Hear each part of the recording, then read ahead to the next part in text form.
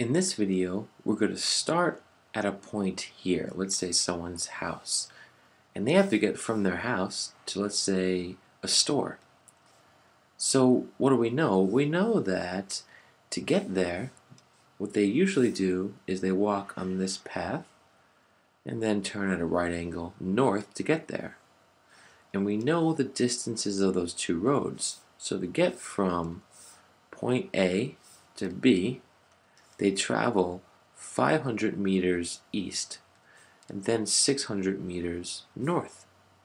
So this usually this trip is 500 meters plus 600 meters, which is 1100 meters distance in total.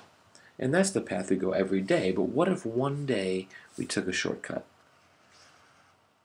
Right from point A to point B, straight without any turns. Well, we know this is a right angle here, and we can think of this path in total as a right triangle. Let me draw this line. That's our hypotenuse now. We want to figure out, well, how long is this shortcut? And, and how much do we save by taking the shortcut instead of walking this path right here? Um, so, so how do we do that? Well, this is a right triangle, so we can use the Pythagorean theorem where a squared plus b squared equals c squared. a squared and b squared are just 500 squared, and b squared is 600 squared. The hypotenuse squared is going to be the sum of the square of these two roots. So 500 squared is what? Well, 5 times 5 is 25, but we're multiplying by 500 twice. So, so that means each time this product becomes 100, 100 times larger, right?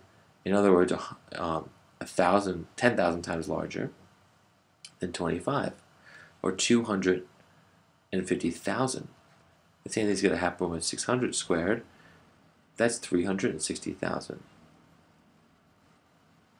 So c squared is just the square. c squared is the sum of these two. Add them up. Think of 36 and 25. That's 61. But, of course, this is much larger than that. This is 610,000. So that's what c squared is, but we're trying to find c, this distance. So we take the square root of 610,000. Now that's not so easy to approximate. But if we were to narrow it down eventually by typing into a calculator or a search engine, we would see that's about 781. About. So that means what? Well, this distance is 781 meters. How much do we save? Well, 1,100 minus 781 is what we're looking at here. I'm not going to do a long subtraction. I'm going to think, well, to get from 1100 to 781, I have to take 300 away to get from 1100 to 800. So this is at least 300.